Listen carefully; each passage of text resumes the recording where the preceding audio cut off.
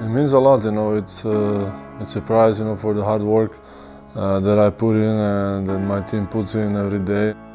It's not only during the season, you know. It started, starting, you know, in the summer, preparing, you know, myself, you know, individually, you know, getting physically ready for uh, uh for the long season, and uh, it starts there. And uh, it's a it's a difficult road, but you know, it's, it pays off.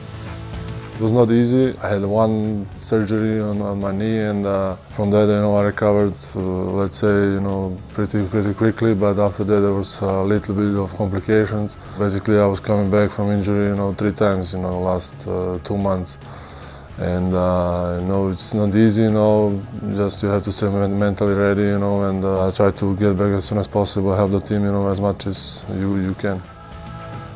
Starting with the, the coach, you know, he has a winning mentality and he, you know, wins to, he wants to win every time, you know, he, he steps on the court, he wants to win and uh, that's how you get motivated. Fans, you know, gets me, gets me going, you know, gets me motivated. The atmosphere they're making, you know, every game, it's a good thing and uh, they've been helping us, you know, for a long time now. I will do again uh, next season. I will come and give everything on the court again.